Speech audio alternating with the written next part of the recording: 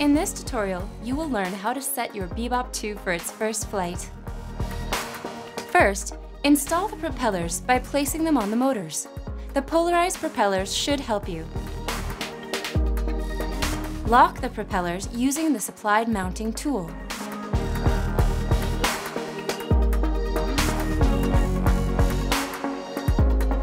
Download the FreeFlight 3 app for free on your tablet or smartphone.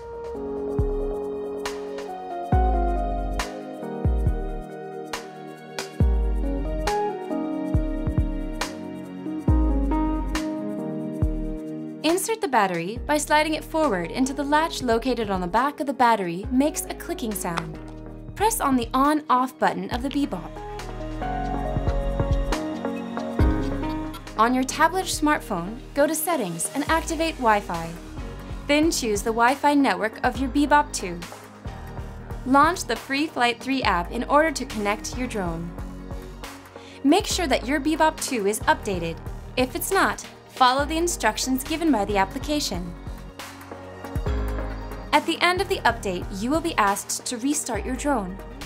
The rebooting should take about two minutes.